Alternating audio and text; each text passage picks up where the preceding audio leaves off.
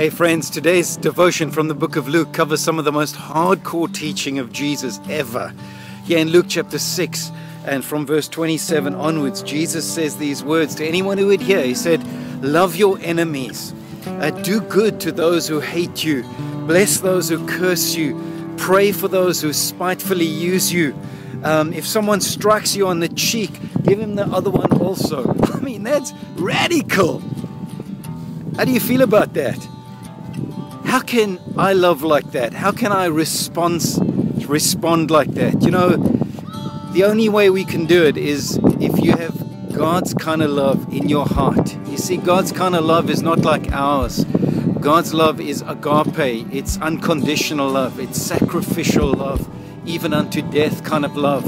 And Romans 5, verse 8 says that God has poured this kind of love into our hearts by the Holy Spirit. How can I love like that? I can love like that because God first loved me like that. And friend, I want to encourage you.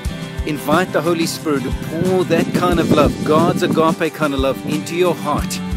And then look for opportunities when you'd have to dig deep. Use that kind of love, not your own love, not your own emotions.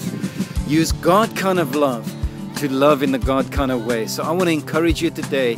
You can love like Jesus instructed his followers to love him because God first loved you like that and God has poured that kind of love into your heart. If you're facing a situation, pour out the love of God from your heart onto it and see what God will do. It's radical, I know, but it's possible in Jesus' name. So have a fantastic day. God bless you. Amen.